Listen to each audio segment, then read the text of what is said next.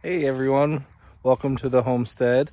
Today I'm going to be putting the uh, finishing touches on our pig area, um, primarily by um, putting down, got some hay to put down for some bedding and putting up uh, a single electric wire along the fence um, more just as a discourager for uh, rooting right near the fence. I've never done an electric fence, so um, again, go stepping out in, into uh, into the unknown a little bit, and um, I'm hoping that it works.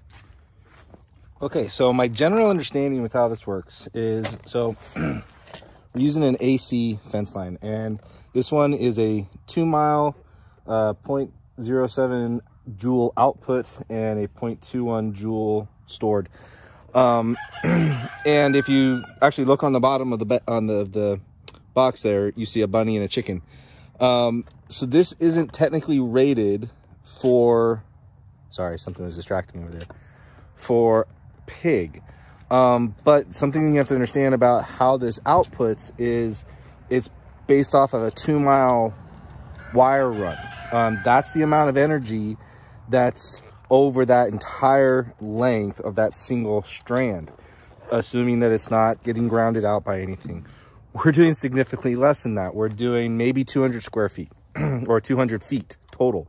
Um, actually, not even that. It's about, it's less than 50 that way, 20 that way, 50. So we're doing 140 feet. So um, I'm thinking that the energy output of this little guy is going to be more than enough to give just that discouraging little tinge. And that's all I'm looking for on this one. I don't need a lot of bite. I'm not really worried about using this as the, you know, discouraging. This is not main containment. This is a discourager to keep them away from the actual mesh fence that's there. And again, mainly it's just about keeping them from rooting on the bottom. So uh, got the, the, that's the Energizer. It's AC. We would prefer to get a solar powered one at some point. They're significantly more expensive. This one was 34 bucks. The lowest uh, solar one that I saw was, I think, 119 bucks. So um, we got to do with what you can with the budget that you have.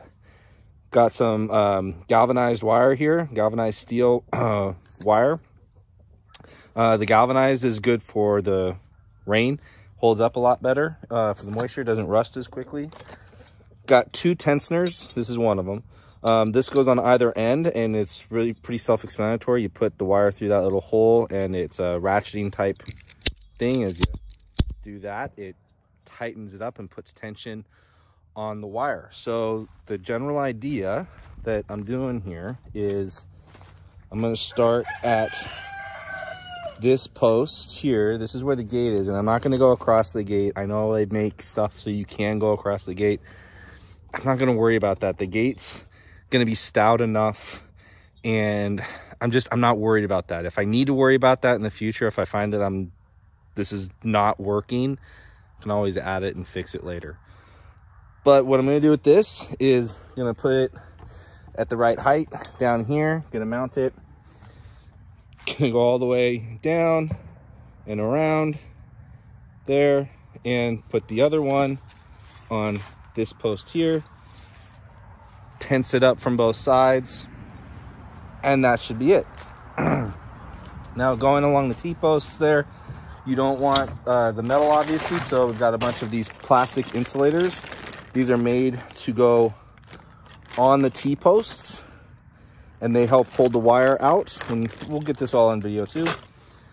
Going along the wire going along the t-post the wire goes in there for the insulator. And it shouldn't be that complicated. The the tricky part and i don't know if i'm gonna get that today it'll be in this video but not maybe today um, is then grounding it properly grounding it. And then and we'll get that we'll get i'll cover that when i do it. Um, so for now um, I'm gonna get to work. Okay.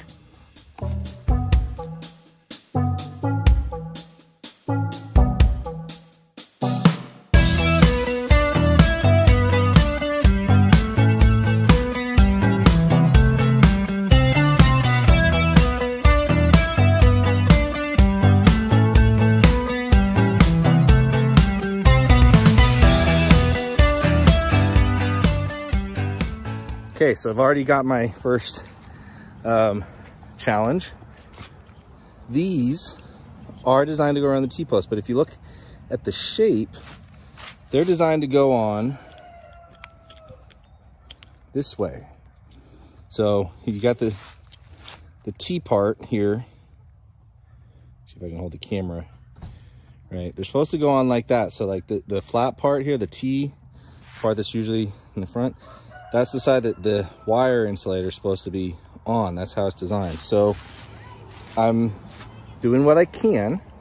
Don't know if this is gonna work or not, but I'm putting them on here and I am hooking them on, kind of hooking this part here onto one of the, the, what do you want to call those? The little parts that stick out.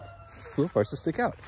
Um, and then as I run the wire through, I should still be able to run through and as I it tenses up, it still should keep it away from the post. And that's really all these are supposed to do is keep them away from the post, not touch metal, not ground out the system. So I'm gonna proceed as though um, this is all gonna work still with what I got and we'll go from there.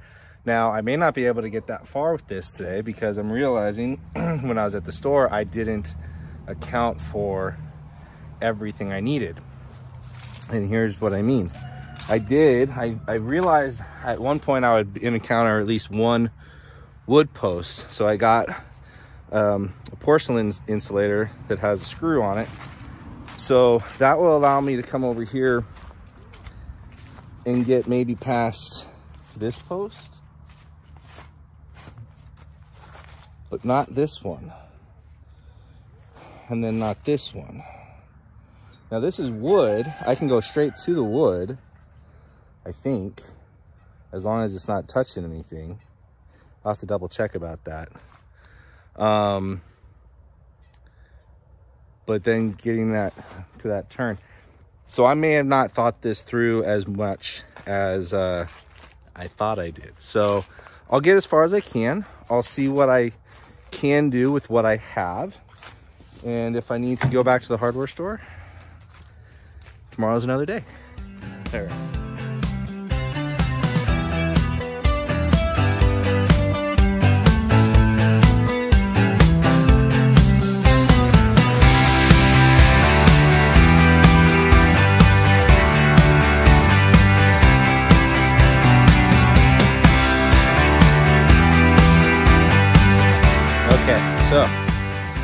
losing the daylight, so uh, not gonna get much further. So we decided to get the hay spread out for their bedding and we'll let them finish doing that. But um, I think what I can get away with, down here you see, got it on here, zip ties. Zip ties are almost always the answer. Um, gonna probably have to use like a screw or something on this post and that post but I shouldn't have to go back to the hardware store. So as soon as I'm done with work tomorrow, working from home uh, this week, as soon as I'm done with work tomorrow, I should be able to come right back out here and get going. So you all will fast forward. Go! We flash forward. I know it doesn't look like it because I'm wearing the same hat and the same shirt. Um, but I guarantee you this is another day because uh, it's more light out. Um, I just happen to have this exact same shirt. I've got three of them. They're a work shirt and um, it just happens to work out that way.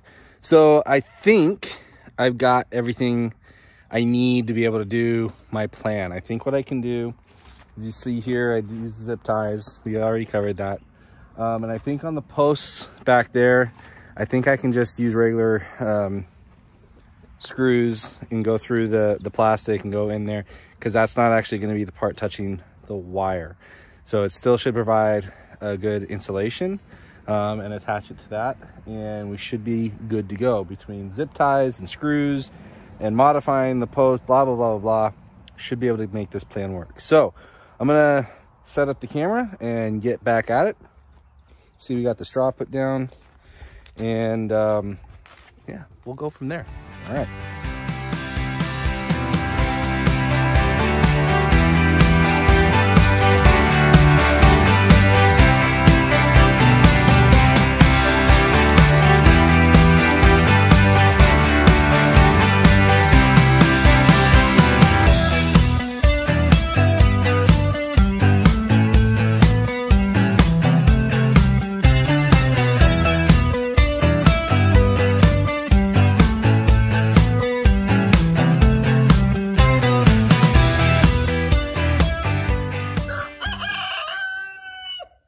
Just realized something. Things that you just don't think about when you're doing it.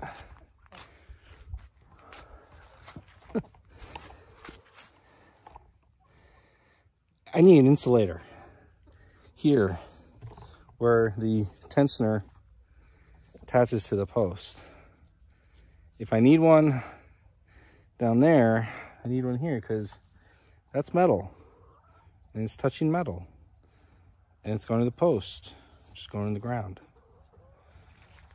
I need to get an insulator. Now, I could come up with my own insulator. Shouldn't need much. I'm sure I've got some rubber material or something I can put in there, non-conductive. Uh, that would be a good, if I need to, I can probably just take, probably just take some of that plastic, extra plastic wrap, double it up, shove it behind, and be okay. Didn't even think about it.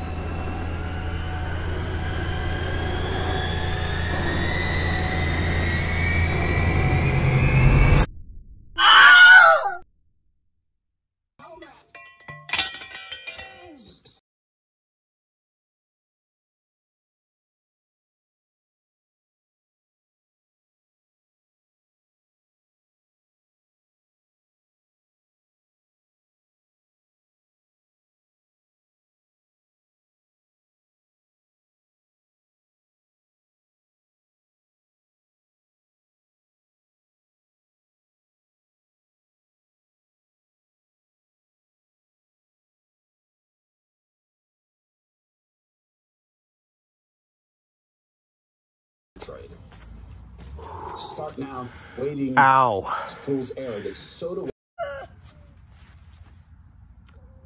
Yeah. That hurts. Um, so, I don't know.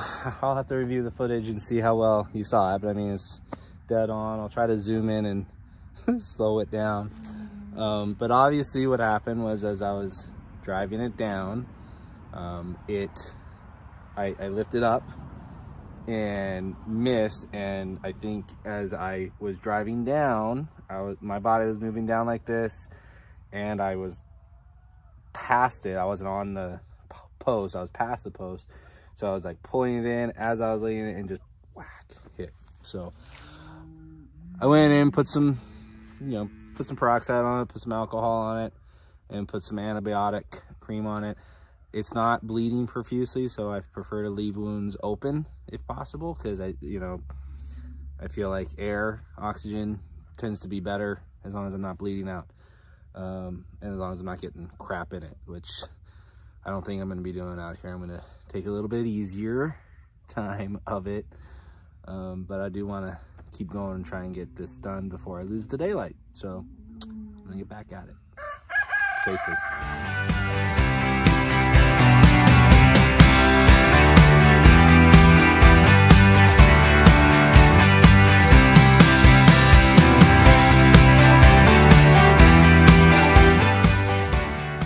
Okay, so I actually got done. Luna sniffed it. She got bit. I know it's working. Uh, obviously, I don't have it plugged in now because uh, there's no pigs in here, so there's no reason to have it plugged in. But this is, let me show you what I, how I got it hooked up here. So I've got the, the hot lead here, basically going straight from here to there. Got the ground going down to that grounding rod. And you can see the wire going to the next one and the next one. About 10 feet apart, give or take. Um, they're probably maybe a little bit more, but more is better than close, too close. Um, they say it's at least 10 feet apart. Um, and the idea is you want to make sure that you're covering a good area so that the signal doesn't have to travel far to get um, back here, back to the base to complete the loop, you know, electricity. And if you don't know, there's lots of good, uh, good YouTube university uh, to explain it. Electricity wants to make a loop. It's going from the hot wire here through your body or through the pig's body or through whatever body down to the ground, down, and it's trying to find the, the grounding rods down there to come back up through the green wire back to the base. It likes to make a loop, and that loop is what provides the shock. This is supposed to be indoor or undercover, so I'm gonna have to rig up some sort of tarping cover thing for it um, later. Because uh, as much as I'd like to get the pigs now, um, we're just gonna have to wait another pay cycle um, to make sure that happens. The girls have a gymnastics meet, their first gymnastics meet coming up uh, this weekend, so I want to make sure that we um, are good for that and taking care of our other obligations. And uh, so hopefully early next week we'll have pigs and we'll give this thing a shot. Um, oh, there is one more thing I need to do. Um, gonna use the blue barrel, uh, one of the blue barrels that we got for um, chickens, the one that I cut and modified for um, the deep, the deep freeze, chilling the chickens. Um, got a nipple here, right here. Okay, water nipple. I'll hook that up and show you guys how that works. Um, but that's going to be what we're going to use to water them. We'll just put that in here so we can just fill up their water and they have plenty of that. And we are ready to go. I think we're ready for pigs. We just need to get them now. So uh, hopefully there'll be some available still uh, next week when we're ready to get them. And we will make a video about that. All right. So I think this is going to wrap this series, this video up for the making of the pig pen. We'll make another video when we actually get the piggies in here and see how it all goes. So God be with you all in all that you do. And remember, keep the faith and keep up the fight. And don't injure yourself. Bye-bye.